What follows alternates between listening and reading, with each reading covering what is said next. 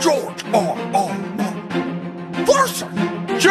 R. R. Tolkien. We got brace yourself. Gather up your trolls and your soldier elves, and your ents and your orcs and your wargs and your stings, your dwarves and Glamdrings. Cause there's a new literary lord in the ring. My readers fall in love with every character I've written, then I kill them. Ah. And they're like, what did he do? All your bad guys die, your good guys survive.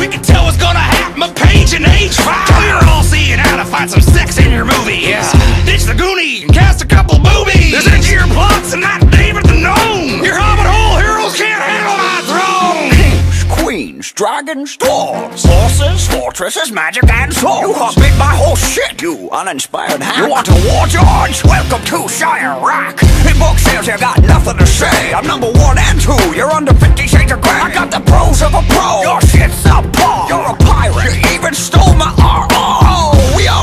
World is full of chance and anarchy. So yes, it's true to life for characters that die randomly. But newsflash, the genre's called fantasy. It's meant to be unrealistic. You myopic vanity. I conscientiously object to what you're doing on these beasts. I'll cut you like my teeth on Beauty and the Beast. You went too deep, Professor Tweed Pants. We don't need the backstory on every fucking tree branch. I cut my teeth in the trenches of the Somme. You locked your Santa Claus ass through Vietnam. And it's hard for me to take criticism on clothes. From a dude who sends a raven to say hi to his Man, toes.